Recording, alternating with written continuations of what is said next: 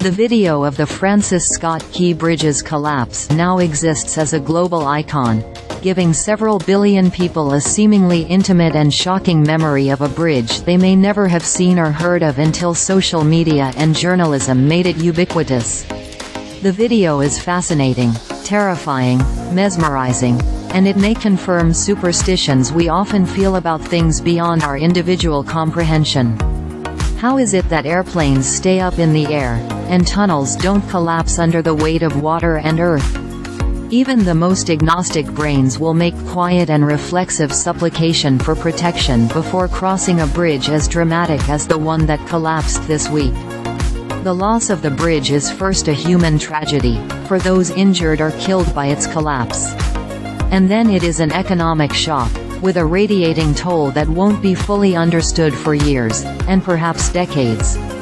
But it's also a powerful symbolic shock, given the metaphorical power of bridges as a form of connection, a symbol of our technical prowess, a point of civic pride and persistent desire to master and reshape the landscape. On the day the Francis Scott Key Bridge opened in March 1977, the Baltimore Sun celebrated the views from the top of its giant steel truss crossing. In every direction from the harbor span lie dramatic vistas of the Port of Baltimore. That included a marine terminal, the giant Bethlehem steel plant and the Penn Central Canton rail yards.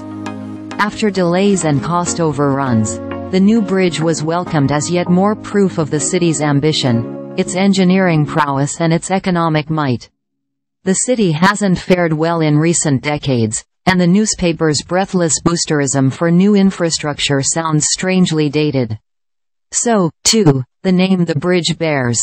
We remember Francis Scott Key not only as the author of our national anthem's lyrics, but also as an enslaver and staunch opponent of abolitionism. There is little enthusiasm for creating new memorials to him. But the Key Bridge was a marvel, and it remained a high point of any drive around the city of Baltimore until its collapse, early Tuesday morning, after being struck by a giant container ship. Since the middle of the last century, American infrastructure has been laid heavily and bluntly on the social and natural landscape.